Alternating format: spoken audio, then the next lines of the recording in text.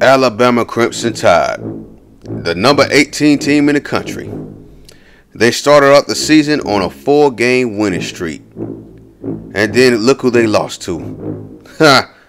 Funny how they're playing each other on Monday in real life for the national championship game. Is this any indication that. Nah, let me stop playing. And then they beat Ole Miss, Tennessee, and now they got Alabama State in the Gumptown. Now the battle for the SEC championship game is pretty tight. You got South Carolina and Florida still battling it out in the East. And then if you look at the West, you got LSU and you got Alabama, the only two teams left that are still in the hunt. Everybody else at this point is pretty much out of it. So here we go. It's number 18 versus number 23. We're still not getting no respect in the polls after that loss to the Southern Jaguars. Last week, we took a heartbreaker, heartbreaking loss to the Southern Jaguars, as a matter of fact. We fell 10 spots. We fell from 13 all the way down to number 23. Despite the fact that we beat two ranked teams so far this season, we beat Cal, they was ranked number 17, and then we beat uh, the Iowa Hawkeyes when they was ranked number 20. We go into this game looking to send a message to the poll voters that they dropped us too far. It makes no sense that we beat two ranked teams and they dropped us like that after losing to Southern in a close game. So there goes Courtney Russell. He's their impact player at running back. Alabama's favorite to win this game. Even Lee Corso put on the Big Al helmet. Well, mascot. So there goes Mike Young. He's out for the season.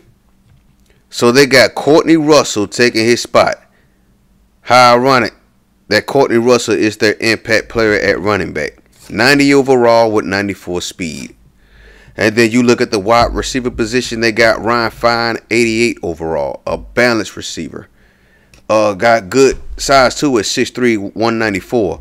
On the defensive side of the ball, Brent Hampton is their impact player. But look who's back for us.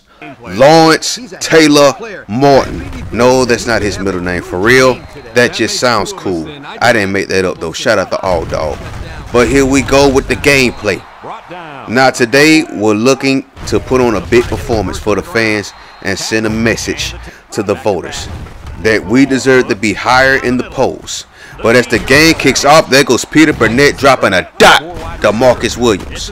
The halfback direct to the man all the way from VA. He goes up the right side. Look at the power. Oh, he got near the red zone, but not quite. That's okay. Just outside the red zone, though. 21 yard line, Peter Burnett. That got deflected by the Alabama defense. Second and 10 at the 21. We give it to Chambers. He takes it to the right side. He tries to make a man miss, but it gets tackled at the five yard line. And look at that. We're going to tack on some more yards. That's probably, yes, that's an incidental face mask penalty. So now we tack on five. We're at the two yard line. We give it to our big running back from the Gump Town, Leon Henderson, and he goes into the end zone. Touchdown, Alabama. Sorry. Two yard run. Great way to start the game. But here come the Tide on offense. And there goes Courtney Russell meeting Jason Moore, our big time cornerback. There goes Russell again. This time meeting Colin Robinson. Third and seven at the 26. It's a play action fake. Stevens rolling out to the right. He pops it. It's deflected and picked up by Lawrence Martin. Welcome back. Martin, Martin, that's what I'm talking about, Lawrence Martin. Back in the lineup doing what he does best. We miss you over those last five games. And there goes Justin Chambers getting yet another touchdown, adding on to his stellar career. Justin Chambers should have at least 80 touchdowns in his career by now. So Bama's back on offense. J- Jason Moore once again on the tackle. He now has two tackles for loss.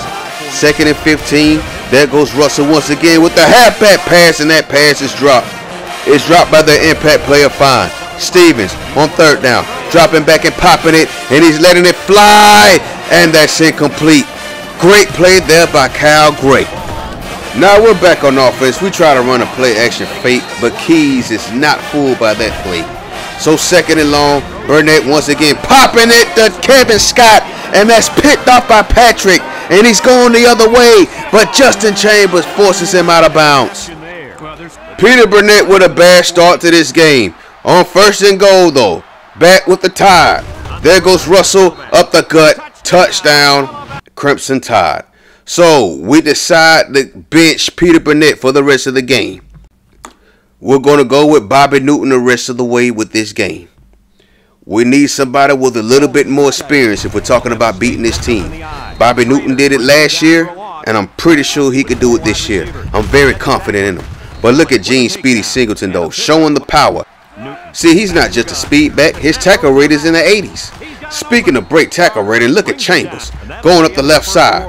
So it's 14 to 7 at the end of the first quarter. We're up. We're striving, and we're looking to extend our lead even more. There goes the man all the way from Viedo. He rarely caught passes in his career. This could be his last season too with us, man. I'm just not thought about that. This could be his last season with us. As well, well, this is definitely Kevin Scott's last season. Gene Singleton, he might dip on us after this season too, as well as a few others. But as we get the ball, there goes Tim Brown. Tim Brown with a big catch. And now we're driving some more. Bobby Newton, though, a late pass. And Kevin Scott couldn't haul that in. That was impossible with two defenders. So second and 10, we call a hot route. We're giving it back to Gene Speedy Singleton. Look at the stiff arm. Look at the stiff arm by the LSU transfer. 33 though. Kevin Scott, first down. Kevin Scott has power too. He just need to work on his hands. He's still inconsistent. Oh, but there goes Justin Chambers. Stiff arming another guy. Getting closer to the end zone. Third and five. We're going with the end around once again and we don't pick up the first down. So we're going forward on fourth and two. Chambers with the handoff. We don't get it. We don't get it. Yeah. Bama defense filling themselves, but there goes Lawrence Martin on the safety. A layup, a dunk. We'll take those two points, and now we're up 16 to 7. We're back on offense. We got all the momentum at the 35. Newton looking deep for Kevin Scott and he in the pass. 10, and he's tackled at the five-yard line. What a catch by baby Randy Moss. Gene Singleton. He can't get there, but there's a flag on the play, and it looks like it's going to be another face mask on Bama. It's another incident we tack on five that puts us back at the two-yard line. We're going back to our big running back, the redshirt freshman out of the Gump Town. Touchdown, Alabama State. We add on to our lead, and now this defense is turning up. Blake Koch with the sack there. Another play action for Bama. That was caught by the grass. I don't know what he was doing on that play. Look at Stevens, and that's deflected away by Justice Scott. Justice Scott has not had an interception since that Iowa game, and it's so disappointing. He has three on the season, and all three were huge plays. But look at G. Speedy Singleton going up the right side on the punt return. 10, 5, house call, touchdown, Alabama State. James Speedy Singleton showing what he can do on the special teams. And now our defense is showing up. They're motivated. They're looking to beat the crap out of this Alabama football team that came in at 6 and 1 and ranked number 18 in the country and show them that they are way better than they are. Look at uh, Justin Chambers getting that catch in the flat. Second and one. Newton stepping back to pass once again. Gets hit as he throws, and that's deflected away. Third and one now. We're going back to the run. Gene, can he get there? It's fourth and inches. He didn't get there. We're going to try this again. Justin Chambers up the gut. Breaking a tackle and first down for the Hornets. We're moving. 12 seconds to go in the first half. Bobby Newton looking deep. And it's caught by Tim Brown. What a catch. Touchdown Alabama State. Go back to Tuscaloosa, Alabama. Y'all done. It's 37 to 7. We're killing these boys as we get ready for the second half. There goes Bama back on offense. A screen pass to Ryan Fine, the impact player at wide receiver, and he's going up the right side untouched until he's forced out of bounds by Jason Moore. Sad way to come out the locker room. So here we go. That was deflected away by Cal Gray. That was intended for Hawkins. There goes Courtney Russell on the handoff, and he's tackled near the 10-yard line. Third down now. Stevens with all day to pass. Just about everybody got pancaked up front. And there goes Lawrence Martin killing all their hopes and dreams. His second interception of the day. Welcome back, Lawrence Martin. What a game for him. Justin Chambers finally goes over 1,000 yards for the season after sitting out last week and then missing three games before this. Such a shame because he could have had 3,000 yards again this year. Sad though. But anyway, we'll call it one of our favorite plays, and this offensive line just can't hold their blocks long. Now it's second and 20. Halfback to Rhett the Chambers, and the man all the way from VA gets all that yardage back. First and 10. Tackled at the 40 yard line. Justin Chambers is no doubt the truth. Greatest running back of all time. And look at this catch by Tim Brown. What a catch. He did it again. Touchdown, Alabama State. It's 44 to 7. They were favored to win this game. What was you thinking, Lee Corso? You know nothing. So here we go. We got a third and 10 situation. Justin Chambers, the man all the way from VA, tackled past the 40 yard line. We got first and 10. We're going to keep running up the score on these cats too. Justin Chambers, look at that move. Oh, he tried to do another move, but he couldn't. He has 169 yards rushing though. We're going back to Gene Speedy Singleton. He's going to be the man next year. Hopefully. So as you can see, he leads the team in rushing. So here goes Newton stepping back to pass once again. It's caught by Kevin Scott. He breaks away from the defender and he gets into the end zone. Touchdown Alabama State.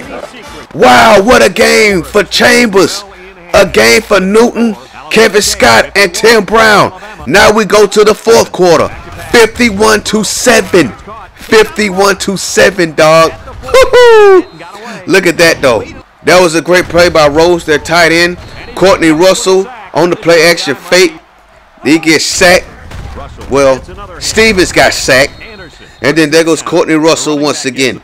Cal Gray has quietly had a great season. I know he hasn't been playing quarterback as much, but we don't. Good Lord, look at that catch by Hawkins.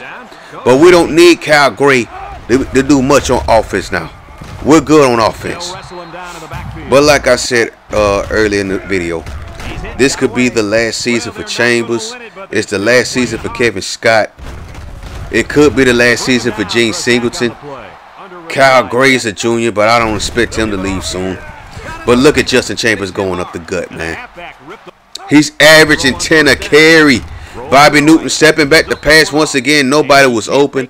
Tim Brown, we got to work on your hands, dog. You'll make those great deep catches, and then you'll drop the short ones. So we got sec right there. It's 4th and 19. We decide to settle with the three points with this time. And that kick is good. Good play there. Good kick there. It's 54 to 14. We 40 ball these cats. Bama's not getting up though. They got their backup quarterback in the game and he throws a pick. What a play. Brad Anderson deflected that and Jamal Sykes picked it off. We're going back to Gene Speedy Singleton. He gets inside the 10 yard line. He's tackled at the 9. Gene feeling himself this time though. We wanted him to get one last first down. We decided to milk the clock the rest of the way and we defeat the Alabama Crimson Tide once again. This time, it was a blowout, courtesy of them Alabama State Hornets. We take them back to Tuscaloosa with the L. Let's take a look at the stats.